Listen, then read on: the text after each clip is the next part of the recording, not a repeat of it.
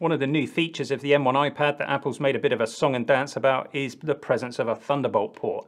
And that means that we can use fast external storage. So I've been out and bought myself a new NVMe drive. I've popped it inside this Thunderbolt enclosure and we're going to see how fast it is. Uh, compared to say something like this venerable Samsung T5 USB disk. Of course the Thunderbolt storage will be much faster than the USB storage. It will be faster, won't it Apple? So we've got a brand new 500 gig NVMe drive from Western Digital that I've put inside the WavLink enclosure. I've previously reviewed this enclosure on the channel. Uh, it's not the greatest enclosure in the world uh, for thermal performance, but it will be fine for the purposes of our testing. Uh, I use these Samsung T5 drives all the time. They're a USB-C interface. They're capable of 500 to 550 megabytes per second in the right circumstances. Uh, the drive inside is based on a SATA interface. And then I thought I'd use this Orico IV300, which again I've reviewed previously on the channel. This also is a USB external SSD, but the SSD inside uses an NVMe interface, so it's uh, capable of double the speed of the Samsung T5, again, in the right circumstances. Uh, and today it seems not the right circumstances because we've had loads of problems with this drive uh, getting too hot and throttling. So I don't know what's going on there, but the results were inconsistent, so we're going to just exclude this from the test. Uh, I think these two drives will make for an excellent test because they're at opposite ends of the speed spectrum. And we've got the M1 chip, of course, inside our iPad Pro, which is supposedly the same chip as what you find here in the M1 Mac Mini. So we'll test these machines against each other. And we'll also throw in an i9 Intel iMac that we've got in the studio. For doing the test, there are no tools that you can get on iPad OS that are going to be useful to us. So it's going to be a good old fashioned file copy with a stopwatch. So what I did is I got together a folder of mixed file sizes and the total for the folder was about 26 and a half gigabytes. And then what I did is created a disk image file of exactly the same total size. So we've got a single file of 26 and a half gigs and we've also got a mixed folder of files at 26 and a half gigs.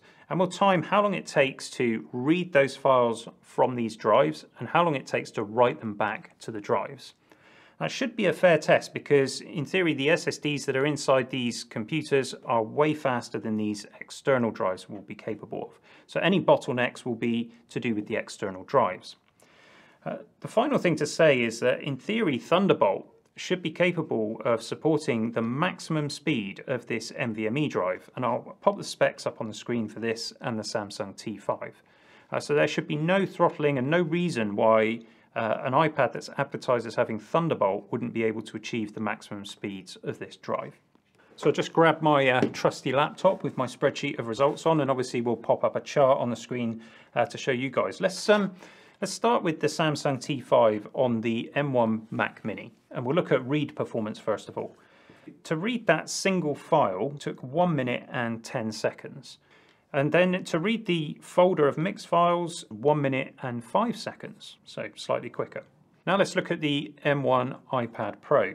Uh, to read the single file, it took 1 minute and 31 seconds. To read the folder of mixed files was 1 minute and 33 seconds. So when it comes to this specific drive for read performance, the M1 iPad Pro is only giving you about three quarters of the performance of the M1 Mac Mini. And of course the iPads have always been a little bit slow when it comes to writing files. iPad OS isn't exactly optimized for file copying, uh, so that could be some limitations within the OS that's causing that slight difference. Uh, but let's just compare now the i9 iMac. For reading the single file, it did it in 48 seconds, and the folder of mixed files took also 48 seconds. So as we've seen before, the M1 Mac Mini doesn't give you full performance through the USB port for drives like Samsung's T5. Uh, and it seems then that the difference for the iPad Pro makes that even worse because you're effectively getting about half the performance on the M1 iPad Pro as you would get on an Intel iMac. So if you're on an Intel machine, you can expect to get the full performance from these kind of drives, but clearly the M1 Macs have issues with certain USB chipsets, and the T5 apparently is one of those. Uh, let's move over to write performance on this drive. So again, we'll start with the M1 Mac Mini. We wrote that single file back to this drive in 1 minute and 4 seconds, and the folder of mixed files, that was 1 minute and 17 seconds. The M1 iPad Pro took 2 minutes 10 seconds to do the single file and 2 minutes 13 seconds to do that folder of mixed files. So we got three quarters of the performance uh, from reading data and now we're getting about half the performance as compared to the M1 Mac Mini. Let's throw that Intel iMac into the equation. The single file took 51 seconds and the folder of files took 53 seconds. So we can see that this M1 iPad Pro isn't running anywhere near the performance potential of this USB drive. Uh, and also that M1 Mac Mini can't get close to it either. It's something that I've mentioned a few times on the channel now that Apple really need to sort out with these devices. Uh, and I'm sure it's a driver issue because there are some drives with certain chipsets that will work at the appropriate speeds, apparently. But surely the story will get better with Thunderbolt. After all, the iPad has always been a little bit slow with the USB files. The previous generations were as well. Uh, but now, of course, Apple has told us it's got Thunderbolt support, so we'll, we'll try the Thunderbolt drives. Uh, first of all, we'll test it again on the Mac Mini. So using this Thunderbolt drive, we managed to read that 26.5 gig file in 12 seconds. And that is a lot faster. That's a, a huge increase in speed, isn't it? The time it took to copy the folder of mixed files was 39 seconds, which uh, is obviously a lot higher than that, 12 seconds. And once we saw that result in context of the other results, we thought it might possibly have been a bit of an anomaly. So we'll test that again and we'll flash up the result on screen now. So how does the Thunderbolt port on the M1 iPad Pro compare? Well, to read that single file, it took 47 seconds and to read the folder of mixed files took 1 minute and 20 seconds. Let's throw that Intel iMac into the mix as well. That one took 14 seconds to read the single file and 16 seconds to read the folder of mixed files.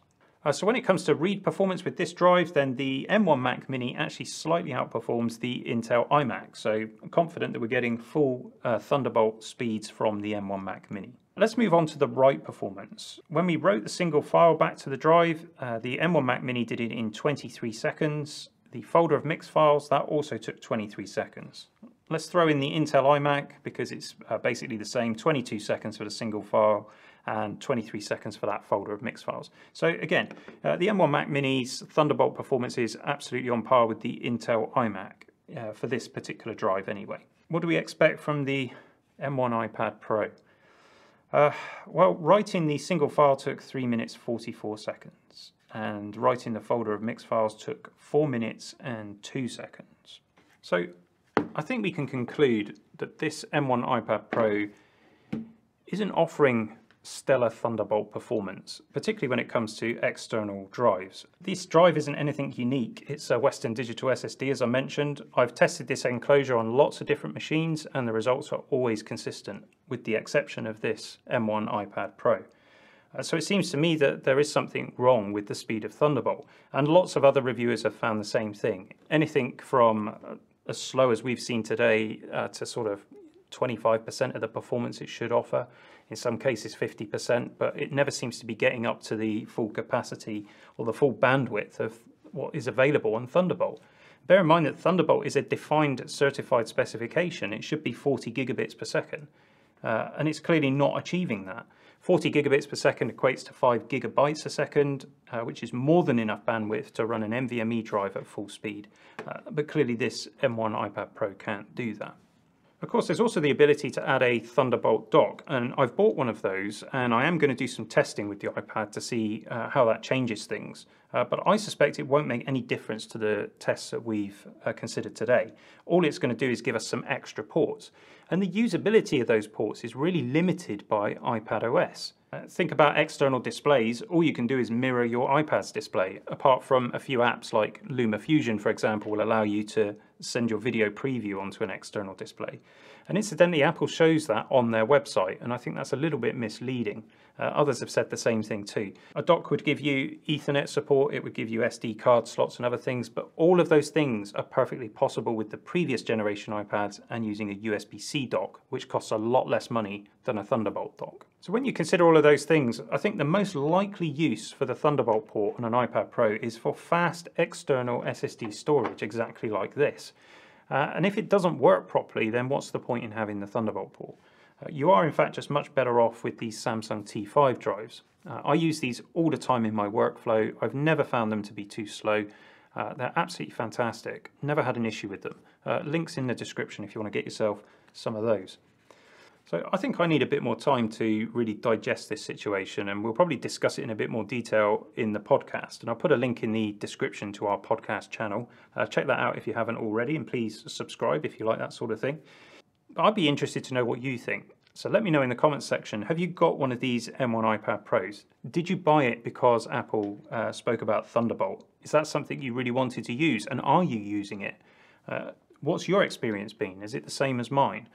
Uh, that the Thunderbolt port isn't really that usable? Or have you found a use case where it works really well? I'd love to hear from you guys.